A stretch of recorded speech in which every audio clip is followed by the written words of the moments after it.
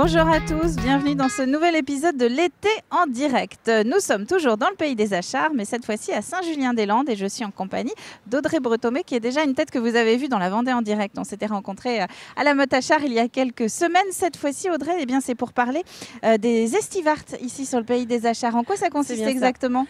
Alors, pour nous, c'est la deuxième saison donc, des estivartes. C'est des animations qui sont proposées sur juillet-août. Euh, vous partez à la rencontre d'artisans et créateurs sur le pays des Achars. Ils sont huit au total qui proposent des ateliers euh, création. Euh, et là, euh, aujourd'hui, exceptionnellement, c'est à Saint-Julien-des-Landes. Habituellement, c'est un atelier qu'on propose sur la commune de Beaulieu-sous-la-Roche, qui est un village d'art. Et tout a commencé l'année dernière quand on s'est dit on va mettre en avant, on va mettre en valeur nos artisans d'art. C'est de là que sont nés les estivartes. Et cette année, on s'est dit, bah, ce qui pourrait être sympa, c'est peut-être de, s'ouvrir un petit peu plus à l'extérieur, et notamment à tout le pays des Achats.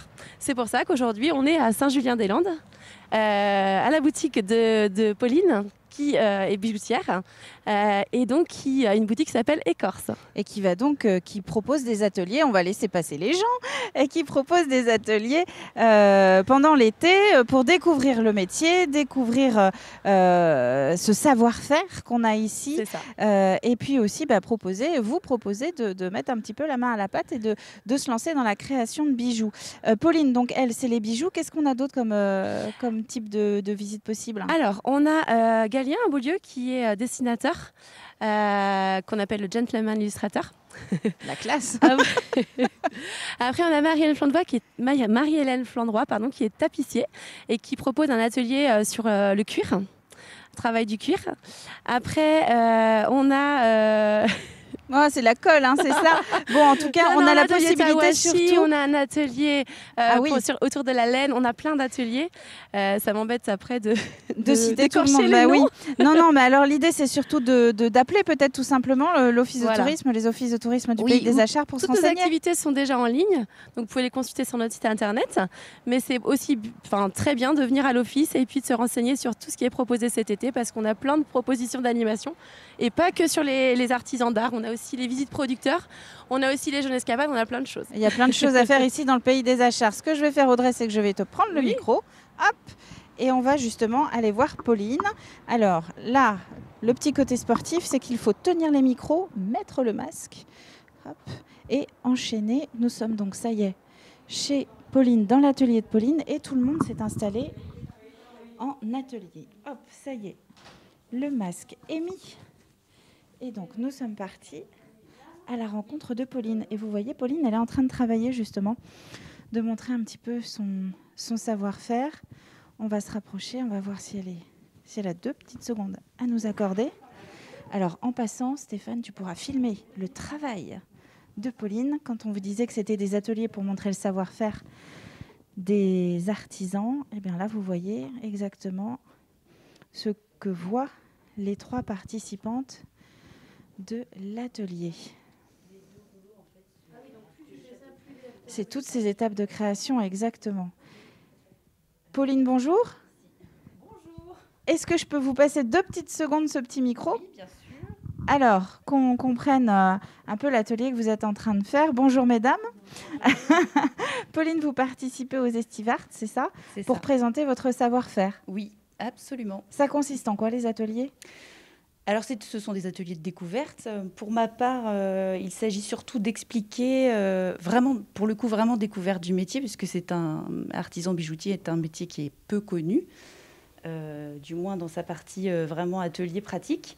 Donc là, en fait, je propose de partir d'un bijou qui est déjà fini, et puis on va essayer de, de voir ensemble toutes les étapes nécessaires à, on remonte la chaîne en on remonte la chaîne. On remonte la chaîne en fait avec vous. D'accord, pour voir un petit peu euh, euh, votre métier. Quand vous discutez avec les gens qui viennent vous voir en boutique euh, chez Écorce Bijoux, vous avez le sentiment qu'on connaît bien la fabrication ou justement c'est un, une explication nécessaire? C'est pas, c'est pas, enfin.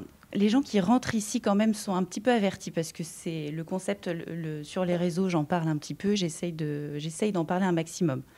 Même si c'est pas la majorité de mon activité, j'essaye quand même euh, de, bien l'expliquer, que ce soit bien clair pour les gens. Mais euh, c'est important pour moi d'avoir mon atelier pour que, oui, en fait, euh, les gens se Gardez le micro devant vous, on risque de pas vous entendre. Que les gens, excusez-moi, ben se... se, rendent compte un petit peu de ce que c'est vraiment le métier, euh, le métier artisanal en fait. Exactement. Donc, euh, donc voilà, je travaille, euh, je travaille sur place et puis, et puis voilà, tout simplement. Et comme je crois que ce qu'il y a de mieux, c'est de montrer. Oui. Donc ce que je vais faire, c'est que je vais vous reprendre le micro, puis on va vous laisser un petit peu, justement, continuer avec vos participantes, continuer d'expliquer ce que vous étiez en train d'expliquer, justement. Alors, je vais m'immiscer. Donc là, du coup, on a Juste... Alors, la petite ah, elle est dedans. Ah, Et on fait la même chose avec le fil. Alors, tiens, regarde, tiens. Je vais mettre de l'autre côté, c'est ça le direct. Donc, la première étape, c'est euh, laminer le métal pour le mettre en forme. Ensuite, on va passer au chalumeau. Ça s'appelle un, une cheville on va découper et puis on va fondre un petit peu le métal pour, euh, pour, pour pouvoir le tordre, pour pouvoir le mettre en forme euh, finale. Ok? Allez-y. Alors, hop. Ça, c'est l'avantage aussi des artisans, des, des, personnes qui ont des ateliers d'artisans, c'est que c'est tout petit, on est tous ensemble. Hein. on vit tous la même chose. Alors, je vous montre, en fait, c'est une petite pédale. Alors, on va laisser Stéphane s'approcher. Hop. Il va falloir que vous y passiez, hein, les filles. le chalumeau.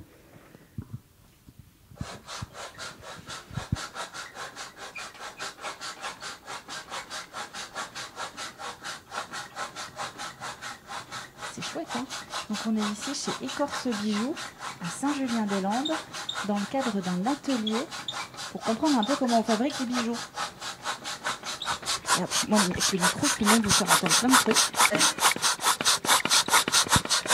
Ça ressemble un peu à une machine à coudre, hein C'est mais c'est vrai. Oui, c'est vrai, c'est vrai.